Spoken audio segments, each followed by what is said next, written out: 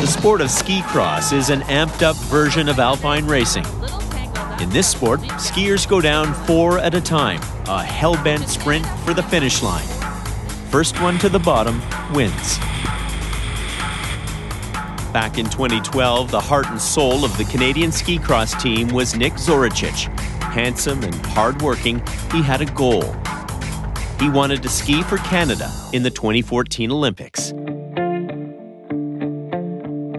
Nick was born in Sarajevo in 1983. His parents, Bebe and Sylvia, practically raised him on skis. By the age of 15, Nick was ranked number one in the world in his age group for GS or giant slalom. But after years competing in alpine skiing, Nick made a decision that would change his life. He switched to the high speed, high risk sport of ski cross. What was your reaction when he, he told you he wanted to take up the sport of ski cross? I, I still blame myself for agreeing because he was asking me for advice whether he should go there, and I said yes because he wanted, and I said yes. I still cannot forgive myself. Why not? Because he died. March 10th, 2012. The sun was shining in Grindelwald for the last race of the season. Nick was racing a fellow Canadian, as well as skiers from France and Germany. He was in third place as he approached the final jump. He would never make it to the finish line. A crash so spectacular, it's hard to pinpoint what killed him.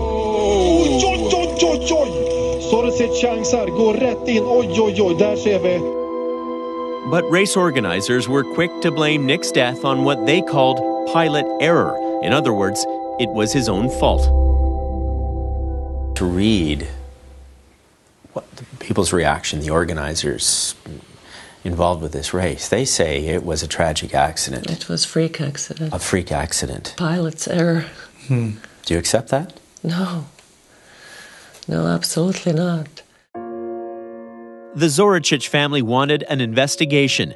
They asked their lawyer, Tim Danson, to look into Nick's death stressing they didn't want a lawsuit, they just wanted to find the facts. Danson pored over that video of the final moments of Nick's life. If you had a normal finish line, he'd be alive. If, the, if it was groomed between the, the, the, uh, the, the, the finish line post and the fence, he'd be alive. If you had proper fencing, he'd be alive. Every single one of these things was wrong. So this isn't just incompetence. This is extreme, extreme incompetence and negligence. Jonas Devouassoux, the French skier who was beside Nick when he died, agrees that finish area was dangerous, and he says he complained about it before the race to his coach and to race officials. So we talked about with uh, Joe. Uh, we said it would be good to have bigger one, and we asked him if if he could uh, put some blue stripes in this area because it was also uh, dark and we couldn't see anything. Joe is Joe Fitzgerald. He's a Canadian and the race director for FIS, the governing body of ski cross. He approved the design of that course. We spoke to him not long after Nick's death. I guess some people had voiced concerns about the finish. For you, how did you perceive the finish? I didn't hear any concerns about the finish from anybody. Nobody. No we were speaking with uh, one of the French skiers, and he had said that he had concerns about the finish, that the finish was a little tight, that the, some of the skiers were veering off towards the right, and that the, he had expressed those concerns to you. I don't actually recall that he expressed any of those concerns. Who? Which skier was this? Uh, Jonas. Uh, I don't recall Devouassoux. that. No. Shortly after Nick's death, the Ski Federation did announce all course designers must now be certified and follow strict design guidelines, but stopped short of admitting faulty course design led to Nick's death. But when we left Nick's parents two years ago, they felt they were being stonewalled by officials with the Federation, who couldn't even muster an apology for the death of their only son. I wonder for you as a mother, what would an apology mean to you now? from FIS? It's basically telling the world hey guys, something was wrong here. And we apologize not just to us, to everybody. And let's, let's make it safer for these athletes who continue racing. Bebe and Sylvia waited months for the Ski Federation to directly address Nick's death. Their lawyer gave the Federation a two year deadline to improve skier safety or else. And this is part of the public record, and it's no secret um, that if we weren't able to reach a resolution and if people continued to blame Nick Zorich for his own death, there was going to be a lawsuit, and then we would litigate this in the courtroom. With time running out on the deadline, there would be a dramatic breakthrough. It's rare for an organization with the power and prestige of the International Ski Federation to blink. But last March, two years to the day after Nick's death, it did just that. Pressured by the Zoricic family, the Federation admitted Nick was not responsible for his death. It wasn't pilot error, as officials had originally claimed. The Federation also drew up new safety guidelines.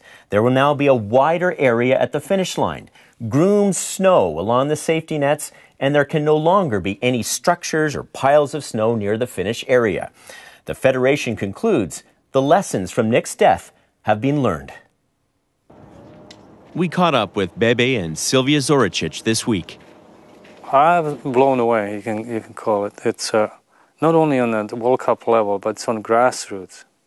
Nick's parents were finally able to claim victory for all skiers.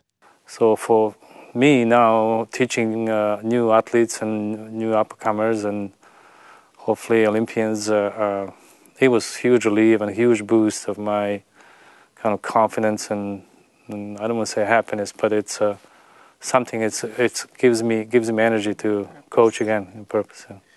When we last spoke, you you had this anger in your heart, uh, especially when the words freak accident and pilot error. I mean, you almost spit those words out when they were presented to you. Have you been able to put your anger aside, or is there something still in there? Because at the end of the day, you still lost your son.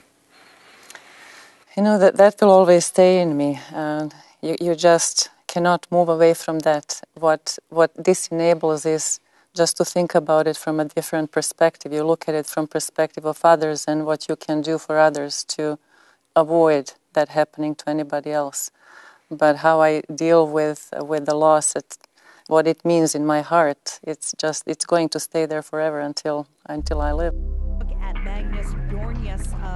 Danson says Nick's legacy is forever sealed in snow.